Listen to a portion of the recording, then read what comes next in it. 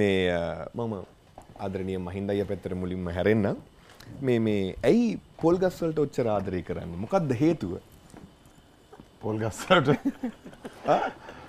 පාරේ පොල් ගහක් වැටලා තිබ්බොත් කට්ටියකට කියනවලු පොල් ගහ කපන්න කියලා. ඇයි මොකක්ද එච්චර පොල් ගහත් එක්ක තියෙන තරහ? තරහක් නෑ. ඉතින් මගේ ප්‍රියතම කෑම පොල් ගහ ඇතුළේ තමයි තියෙන්නේ. හා කියමුකේ කතන්දරේ පොඩ්ඩක් අපිට. නෑ පොල් බඩේ කියන එක තමයි මගේ ජනප්‍රියම කෑම. හ්ම් මං කොහේ තිබ්බත් මට වාහනයක කොහොම ගියත් පාරයින ගහක් වැටලා තිබ්බත් මට ටක් ගාලා ඒක හැට පේනවා හ්ම් ඉතින් මං ඒ කොහේ ආයෙ මොන වැඩ තිබ්බත් ඒකෙන් කැල්ලක් ඔය කපාගෙන ඔහොම ඔය අබේපුස්ස පැත්තට යන වෙලාවක පොල් ගහක් කඩාගෙන වැටලා තිබිලා පස්සේ ගෙදර අයිතිකාර මිනිසයා මුලින්ම ගහන්න ගිහිල්ලා තියෙනවා. පස්සේ අලුත් ගස් දෙකකුත් කපලා දුන්නාලු පොල් බඩ කන්න කියලා නේද? ඔව් මොකක්ද ඒ සිද්ධිය? ඇත්තටම පාර පාර හරහානේ පාර අයිනේ තිබ්බේ. මේ මං කුරුණෑගල යන්න ගියේ. යනකොට මං දැක්කා තියෙනවා. හැර දැක්කනේ. ආ. ඊළ කුරුණෑගල ගිහිල්ලා වැඩේ කරගෙන එන ගමන් ලොකු මහා පියකුත් ගත්තා.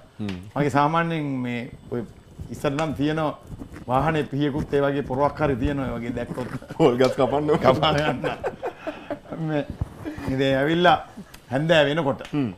ඉතින් මේ මේ ගහ කවනකොට අල්ල ගන්නකොට මේ මනුස්සෙක් දුවගෙන ඇවිල්ලා ගොඩක් ඉතින් රණ්ඩුවට මාවා ඒ- එයාගේ ගස්නේ? ඔව්.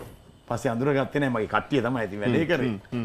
ළඟට ගියා ඉතින් පස්සේ මනුස්සය අඳුරගත්තු ගමන් ඒකත් දීලා තව එහා පැත්තේ තියෙන ගස් දෙකකත් බඩේ මිනිහම ගෝලිය දාලා තල්ලා දීලා මට දැනුත් තාම හිතවත් මේ ඔය මේ දැසට දන්න ඇති ඇවිල්ලා මේ ප්‍රධාන පාට වැටෙන දැන් එයා පෙට්‍රල් ෂෙඩ් එකක් දුවෙත් දැම්මා ඉතින් පස්සේ රඹුටනුත් මට එවනවා කියන්නේ පාඩුවක් එක. හිතවත් හිතවත් එයා දන්නේ මම කවුද කියලා ඒක.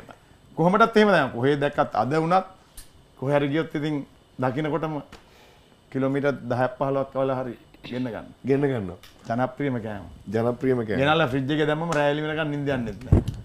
කනකන් ඒ ඉවසීමක් කනවා නැහැ. සැරේ කනවා.